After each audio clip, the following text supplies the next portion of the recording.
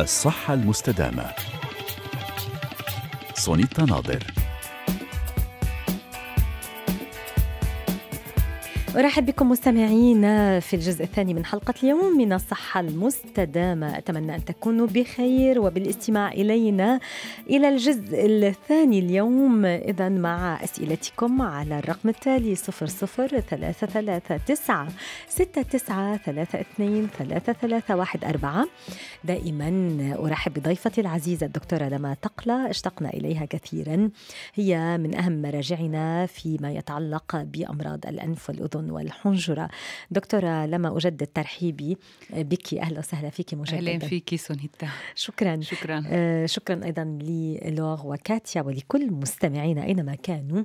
آه كتبوا إليك على صفحة الفيسبوك بأسئلة. سنبدأ بطرح الأسئلة من صفحة آه الفيسبوك ومن ثم سننتقل إلى آه الاتصالات. إذا إيناس بتسألك مرحبا للدكتورة لما. لاحظت أن السعال يترافق مع حكة في منطقة الذقن ما السبب في ذلك؟ وأمسية سعيدة لك ولضيفتك. إذا يعني غالبا السعال مترافق مع حكة من منفكر بسبب تحسسي يعني. نعم. فوقتها بنطلب يعني مثل بنطلب بيلان أو فحص دم تحسس وبنبعت لعند خصوص لعند طبيبة التحسس يعني غالبا بتكون السبب تحسسي نعم. مع الحكي يعني الاختصاصي أيوة. في الحساسية م. نعم وغالبا نجد الحل يعني الابتعاد طبعاً. عن ال... الابتعاد وبت... يعني هلأ غالبا بتكون مثل يعني هيدي الح...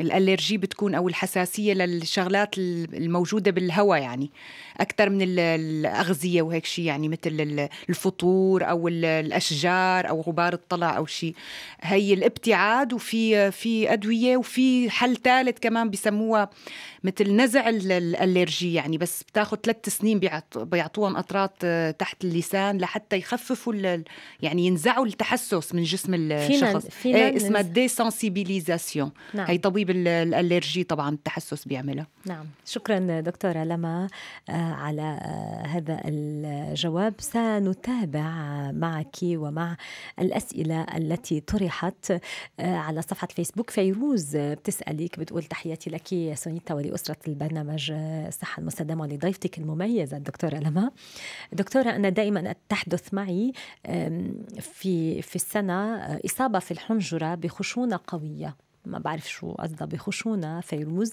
حتى أني لا أستطيع بلع الطعام. آه يعني عندها إيه. إيه. نوع من تحسس. يصبح صوتي غير مسموع. آه هذه الحالة تبقى معي لمدة أسبوعين إلى ثلاثة أسابيع. بعد ذلك تنتهي. أريد أن أعرف ما أسباب هذه الحالة؟ ما هو العلاج؟ وما هي الأدوية التي تنصحين بها؟ شكرا لكم. يعطيكم العافية. يعطيكم الصحة المستدامة. ولك أيضا يا فيروز.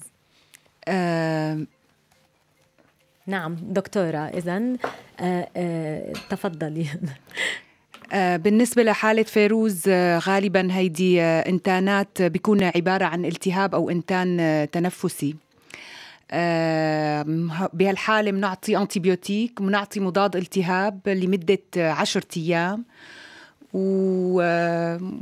وبنعطي ممكن أهم شيء الكورتيزون بهالحالة. الكورتيزون يعني عندها نوع من الحساسية فيروز. هلأ ممكن يكون ح... يا إما حساسية بدها تعمل اختبارات التحسس يا إما حساسية يا إما بيكون التهابات إنتانات تنفسية. لذلك ما عم بقول لك بنعطي antibiotique يا إما تكرار إنتانات يا إما حالة تحسسية. فمع كل الأحوال بنعطي antibiotique إذا بنشوف إنه حالة إنتانية وبنعطي كورتيزون خمس لست أيام. نعم. وكيف تزول الحالة واحدة لمدة على مدة ثلاثة أسابيع؟ ثلاثة كيف تزول الحالة لحالها لحالها من دون ما تتعالج. إذا أعطينا عش... آه بتزول لحالها لأنه الإنتان بيروح يعني بعد 10 15 يوم لحاله بيطيب يعني. بيبقى شوية تخريش بيروح بعد ثلاث أسابيع يعني. نعم حتى لو لم نأخذ أي شيء. لو لم نأخذ بس مو كل الحالات ثلاث أسابيع بتروح يعني. بدها أحيانا شهرين ثلاثة بتعند. لذلك بنعطي العلاج نحن. نعم. شكرا دكتورة لما شكرا لفيروز على تواصلها معنا من خلال صفحة الفيسبوك. وطرح هذا السؤال مارون من لبنان الآن. مارون كتب إلينا على الإنبوكس صفحة الفيسبوك يطلب التواصل معك وطرح الأسئلة عليك. ألو مارون. ألو مرحبا يعطيكم العافية. أهلا وسهلا كيفك مارون؟ نشكر الله أنتم منيح شو أخبارك؟ طبعا كتبت لنا على على صفحة. الفيسبوك تطلب التواصل مع الدكتورة لما. نعم. هي عم تسمعك تفضل. مرحبا دكتور. مرحبا مارون كيفك؟ الحمد لله عم بعذبك. أنا آه، بس عندي رشح متكرر وجريب ويعني بالأسبوع مرة مرتين وب- وبصير معهم إنه إذني مفخوت الطبله عم بتنزل سائل أصفر آه، له آه. رائحة. يعني كريهة. أيوه.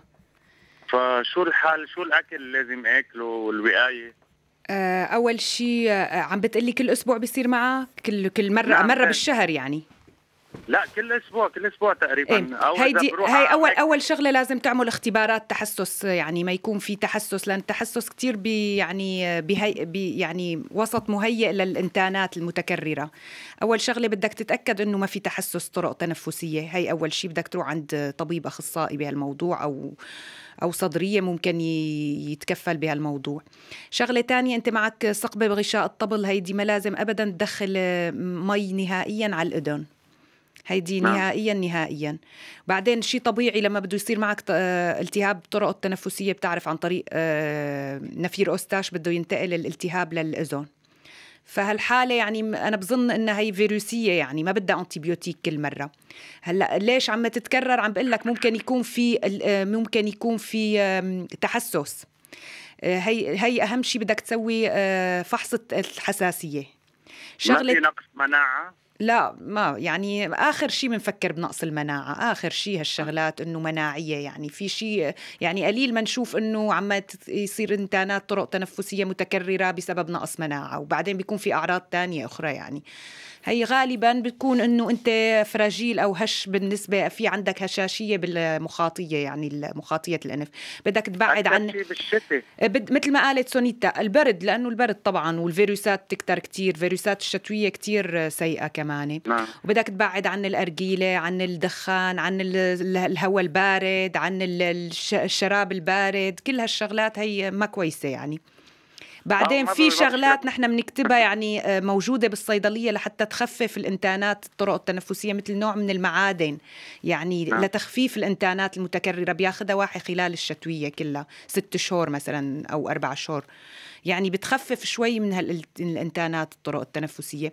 وفي كمان شغلة تانية الإنالاسيون أو التبخيرات. هي كويسة كتير كمان لل للمتكررة. تبخيرات يا إما بتشتريها من الصيدلية أو بتعمل أنت تبخيرات بال بالزهورات يعني. زهورات بتبخر زهورات السيارات آه تلوث التلوث طبعا, طبعاً. التلوث الدخان ال- ال- ال- البرد كل هدول شغلات مخرشة يعني للمخاطيه طبعا. كلها هي لازم. عم بتأدي لأن أنا عايش حتى تلوث سيارات وكثير. مشان هيك عم ضل. إيه إيه طبعا أكيد بتس... ما أنا السبب الأول بس هي سبب يعني بيخ... يعني بتضعف مناعة هالمخاطية. أو الحال الوضع النفسي لأنه الحاله عندنا هدول حلوة مزبوط كلهم بس مرتبطين. هدول مرتبطين يعني ما سبب واحد هي عدة أسباب عم بتخليك تسوي هالإنتانات المتكررة نعم نعم. طيب والأكل شو لازم آكل حتى الأكل ما في مشكلة بس خفف ال- الشغلات المخرشة الحادة يعني البهارات كل حار. وال... وال... والبارد كتير والسخن كتير لا حتى أقدر دافع يعني عن ال- آه. آه الدفاع آه بقى هي عندك البروكولي والكركمة والشاي زنجبيل. الأخضر والج... والزنجبيل و... والخضار والفواكه وعصير البرتقال كل هدول نعم نعم. يعني كل كل والعصير ينف... البرتقال كتير كويس الشاي الأخضر كل رافعات المناعة و... مم. ال antioxydants وأيوة. كل مضادات الأكسدة والثوم والبصل كل هدول مهمين نعم نعم اذا مارون نشكرك ونتمنى. لك شكرا لك. نتمنى لك صحة جيدة وشو بدنا نقول لك شكرا ولكم كمان إنه يصير ال stress التوتر درجته أخف بكتير وإنه ما بعرف إنه ما يعود في سيارات. ما هيك ما يعود في سيارات ربما ربما تصير السيارات كهربائية ما بيعود في تلوث بعد كم سنة لا. يصير في بلبنان يصير في ترشيد للسيارات لأنه كل بيت في ست سبع سيارات. ربما ربما يكون هذا الحل لكي يقلوا بس البنزين بعد أكثر. شكرا لك يا مارمون. شكراً. تحياتنا لك. ولكل مستمعينا في لبنان. أنا لم أكن أعرف بأنهم كثر ولكنهم طبعا كثر يستمعون إلينا فشكرا شكرا لهم. آه عبد الله من الإمارات الآن. ألو؟ ألو مساء الخير سونيتا أهلا عبد الله شكرا على اتصالك وعلى انتظارك. نطرناك على الخط. أهلا وسهلا. أهلا فيكي أنا يمكن أول مرة بحكي معك بس صراحة الموضوع اليوم كثير يعني مهم بالنسبة لي أهلا. كنت حابب عندي استفسار للدكتورة إذا دكتورة لما عم تسمعك مباشرة فيك تحكيها. تفضل. مساء الخير دكتورة يعطيك العافية. مساء الخير. أهلا فيك. أهلا فيكي. آه، دكتورة بس أنا كنت بالنسبة لمرتي آه، هي كانت ولدت قبل سنتين تقريبا. أيوه. وبعد الولادة صار معها آه، زي التهاب قوي حاد وكان ينتج عنه سعال حاد كثير فإنه تعالجت في هذيك الفترة وأخذت يعني دخلت المستشفى وأخذت انتبيوتيك قوي أيوة. والحمد لله راحت المشكلة. هلأ هلأ حاليا هي بعد سنتين الحمد لله يعني صار في حمل وهي في الشهر الرابع. أي. فاللي صار من شيء أسبوع أو 10 أيام تقريبا صار معها زي نفس المشكلة بس يعني مش لدرجة إنه زي أول مرة إنه بس عن في عندها سعال متكرر. وعم بيطلع معها بلغم يعني م. شديد. لدرجة إنها طول اليوم دكتورة عم تسعل يعني من من شيء أكثر من 10 أيام. أي. رحنا على دكتورة أعطتها شراب زي هيربل يعني إنه حكينا فيها كونها حامل وكذا. طبعا أيوه. فبصراحة أنا يعني ما ما استفدنا كثير على الدواء فكنت حابب يعني أستفسر منك دكتورة شو الحل؟ برأيك يعني كيف إنه لأنه كثير عم تسعى الدكتوره هلا هي بالشهر الرابع المشكلة مثل ما قلت يعني إنه حامل ما كثير فينا نعطي أدوية يعني. هلا إذا ضلت هلا ممكن هلا غالبا أي أنتان أي آه، شوية تحسس أو كذا بيروح بعد أسبوعين ثلاثة. إذا ما كثير مزعوجة تترك الحالة لحالها بتروح. أو بدها تعمل أه. تبخيرات يعني قلت لك تبخيرات حتى مو من الصيدلية يعني تبخيرات تجيب أه. تجيب زهورات خليط من الزهورات تجيب آه، زعتر ما بعرف يعني أعشاب وتعمل تبخيرات أوكي. كل يوم بس يطلع البخار بتتنشأ عن طريق تمها و... و... وانفها كل يوم بالليل أه. وشوية معلقة عسل معهم وإذا بتشرب بعدين الزهورات كمان شيء كتير كويس. هيدا يعني بدائي مثل ما قلنا لك بس عن جد مفيد كتير. أه. هلأ إذا عندت السعلة اعملوا لها بال... عند بالمخبر أي مخبر حتى ما في داعي تروح عند طبيب. مسحة صغيرة يا من الأنف يا من البلعوم. بيشوفوا إذا في فعلا جرثومة عم بتضايقها. إذا في جرثومة عم بتضايقها بيحطوا لكم نوع ال antibiotique كمان اللي بيمشي معها. وقتها بتسألوا طبيب النسائية إذا في ممكن تاخده ولا لا. بس مثل ما قلت أيوة. لك إن مجالها ضيق لأنه حامل ما فينا نعطي أدوية. أما هي antibiotique آه، مضاد التهاب شوية كورتيزون بتمشي الحال يعني. بس هلأ أه. تعتمد على التبخيرات أكثر شيء ومثل ما قلت لك بحال الاستمرار ترجع تعمل مسحة صغيرة تشوف إذا فعلا في آه، جرثومة. تبخيرات يعني لكم دكتوره يعني قد ما بدها. كم يوم؟ قد ما بدها قد ما بدها. تبخيرات هي أعشاب يعني. sorry سمعتك دكتور تحكي معلقه عسل. هلا أنا ما بعرف حكوا لنا إنه ممكن العسل مش منيح للحامل. فما بعرف شو رأيك. والله أنا ما بعرف ما بعرف ما سمعانة إنه ما منيح للحامل. صراحة يعني ما بعرف بس يعني عسل طبيعي آه. ليش حتى ما يكون منيح يعني؟ ما بعرف. إلا إذا في سكر حملي أو شيء ما بعرف يعني. عندها عندها سكر الحمل ولا لا؟ لا لا لا, لا, ما, عندها. ما عندها. يعني الحمد لله. فحوصات عملنا آخر مرة كانت يعني كله طبيعي الحمد لله.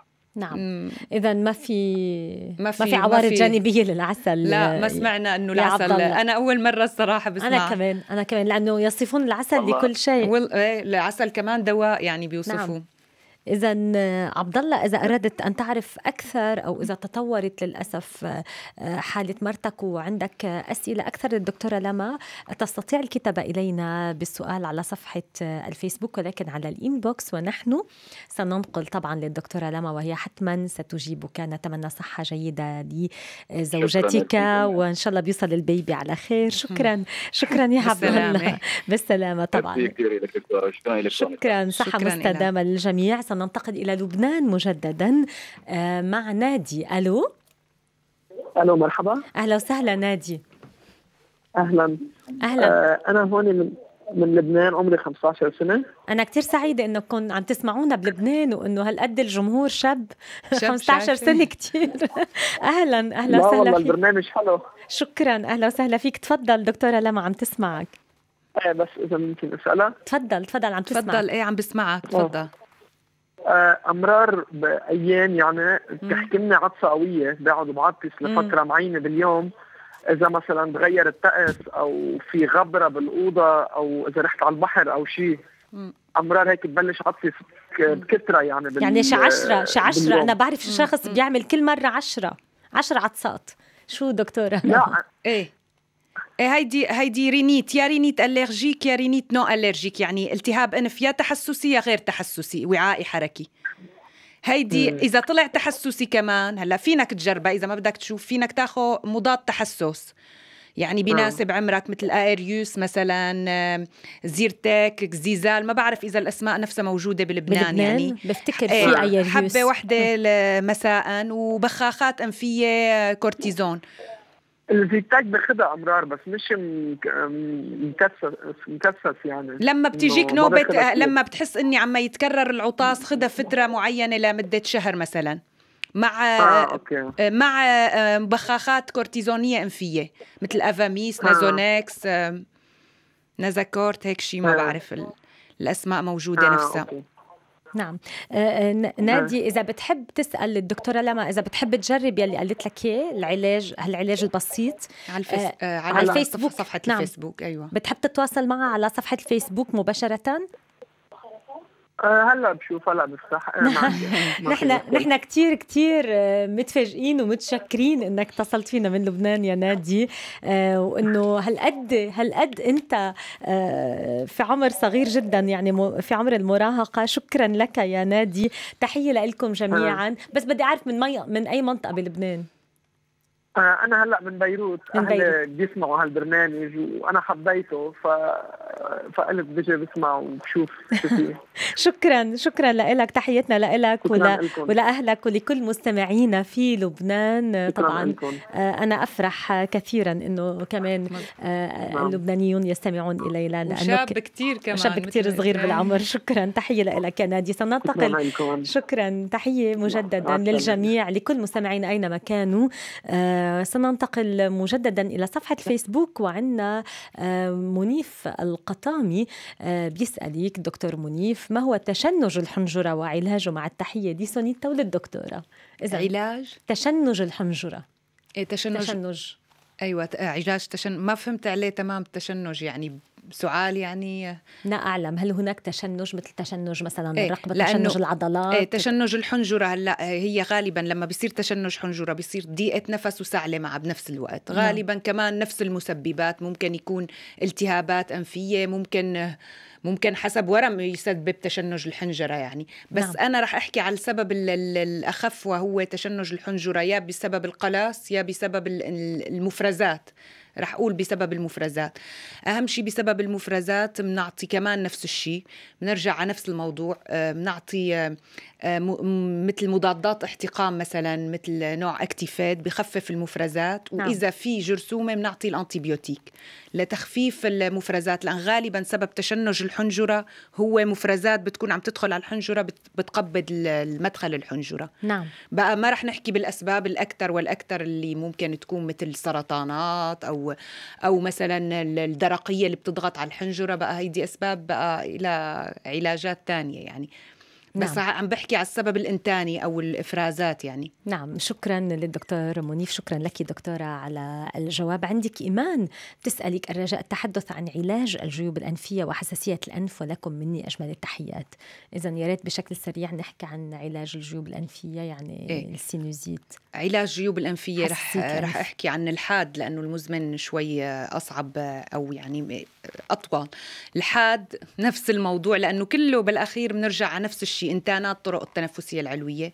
بنعطي مضاد التهاب بنعطي بخاخات أنفية بنعطي antibiotique بنعطي مثل ماسك. أنا بعطي دائما ماسك نوع من ال aérosol masque مع مع أدوية كمان لحتى تنظف الأنف وتدخل الأدوية على قلب ال- الماسك يعني كهربائي أو موصول يعني بجهاز. شو بيبخ؟ مثل الأكسجين يعني. نعم. ببخ بنحط بقلبه أدوية antibiotique وكل شيء ومضادات احتقان. والشخص بيتنفس أيوة أيوة بيعمل ربع ساعة الصبح ربع ساعة بالليل. كتير مفيدة هيدي. بالإضافة طبعا للعلاج الفموي. وهالشي فعلا بيقضي كتير. على على ال- كتير آه، هل علاج جديد دكتورة لما؟ لا من زمان بنستعمله. نعم. آه، إذا هون مثلا بي- بيجيبوا هالآلة بيست- بيستأجروها من عند الصيدلاني. نعم. ومن ثم إيه بيستأجرها لمدة 10 أيام يعني هناك نوع من البروتوكول يعني إيه طبعا له بروتوكول في أدوية بيحطها الصبح وأدوية المساء كتير مفيدة. نعم شكرا دكتورة لما سنواصل طرح الأسئلة وإيمان. آه، طبعا طرحت هذا السؤال ولكن غزالي ما علاقة التدخين بالسعال وخاصة الأرجيلة يعني النرجيلة؟ آه، ما هي العلاقة دكتورة؟ التدخين والسعال. العلاقة أنه التدخين والأرجيلة بيعملوا التهابات آه، بالمخاطية المخاطية التنفسية. التهابات مزمنة مسببة لكل الأمراض التحسسية والسعال والالتهابات المزمنة وممكن توصل بالنهاية لانسداد القصبات وممكن للسرطانات كمان. نعم إذا يعني آه، الحالة صعبة جدا. يعني الأفضل إيقاف الدخان يعني مش بس السعال المشكلة أبعد من السعال. إيه طبعا نعم. السعال هو عرض يعني لمرض صار يعني نعم. بسبب الدخان. نعم.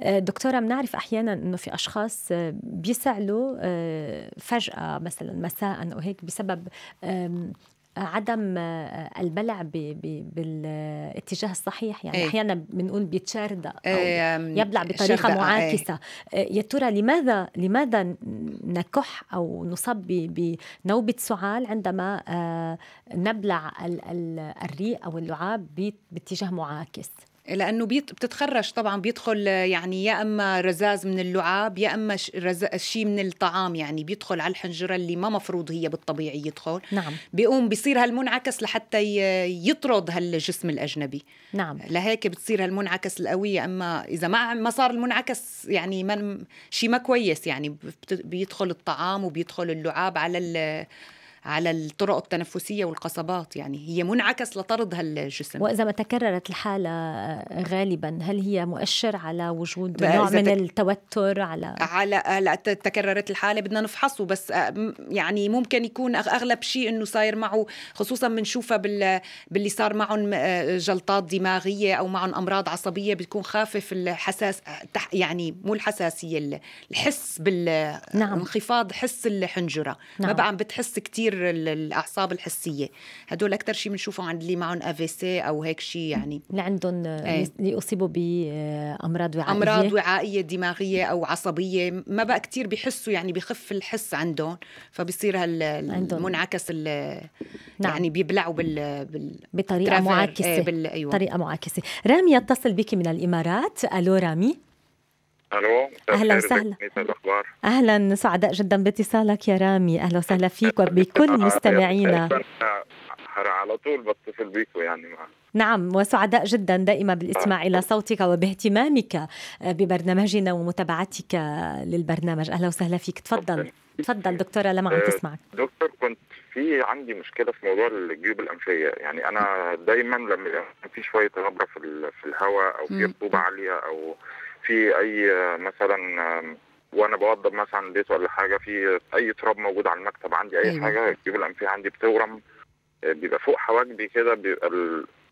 تلاقيها ورمت خدودي تورم خلاص ببقى صداع بقى بيمسكني و مفيش باخد دايما Clarinase لما بوصل للحالة دي بس Clarinase هو مضاد حساسية تقريبا ف مشكلة مع السواقة. ما بعرفش إن أنا أسوق لأنه بيخلي الواحد تركيزه قليل شوية. أيوه. عايز أعرف إيه المفروض الواحد يعمله عشان موضوع الجيوب الأنفية التهاب الجيوب الأنفية ده ما يزيدش.